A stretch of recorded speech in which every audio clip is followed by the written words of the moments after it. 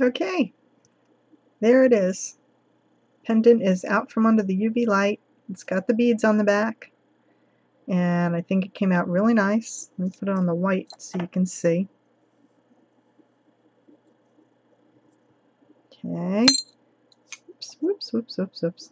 And what I did was I only partially flattened the bottle cap because since I put an extra layer on the back, it sits up higher and to put it on the completely flattened bottle cap just doesn't look good now.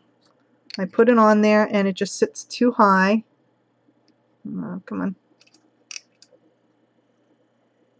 It sits too high. So, you know, I, I I'm going to let it nest inside a, a partially flattened bottle cap and I'm going to glue that in there.